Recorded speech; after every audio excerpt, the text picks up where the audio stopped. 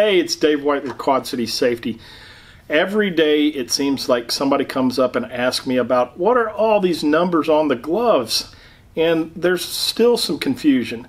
Recently, there was an amendment to the standard. So when you look at the ANSI standard, it points to an ASTM, which is the standard for testing cut resistant gloves in the United States. However, there is also EN 388, which is a European standard. So it's a set of tests that are kind of like the test that we do on the ANSI or ASTM side. However, ANSI can still adopt some of EN 388, but what we're going to talk about today is the cut score. So when we look at EN 388, EN 388 will be a score from a 1 to 5. And the problem is is it generates a number that often people try to assign from one glove to the next. Both of these gloves have the ANSI standard on it, and you will always see them marked pretty clearly.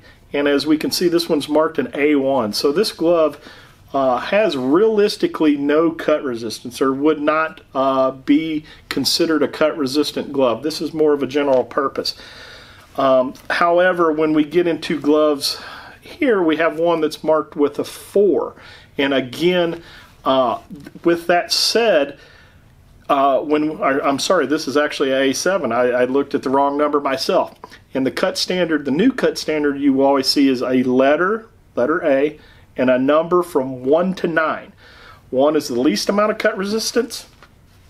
9 is the most. And this guy right here is a 7. So there's a large amount of cut resistance in this glove. Ascertaining what level of cut resistance you need requires you probably with your safety professional as well as some help probably from Quad City Safety determine what those needs are.